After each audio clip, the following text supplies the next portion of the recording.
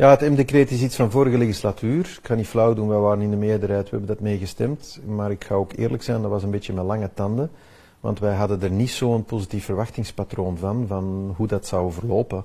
En helaas uh, is dat denk ik ook wel aan het uitkomen. Hè. Dus een evaluatie is voorzien. Wij zijn al zeker vragende partij voor serieuze bijsturingen. Het M-decreet voorziet eigenlijk in de mogelijkheid van inclusief onderwijs, dat wil zeggen kinderen met een beperking, toch in het reguliere onderwijs uh, te zetten en dan zorgverbreding te geven. Maar wat wij vreesden is toch wel aan het gebeuren en ik word daar constant over aangesproken. Constant in de winkel, op straat. Mensen uit het onderwijs zeggen dat, sorry, maar dit gaat niet. men legt zoveel druk op onze schouders. Eh, we hebben zoveel extra zorg voor bepaalde leerlingen dat we niet meer kunnen lesgeven aan de rest.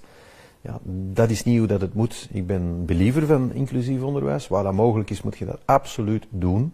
Maar je moet er wel wat realistisch in blijven. Het M-decreet, vrees ik, is daarin te ver gegaan.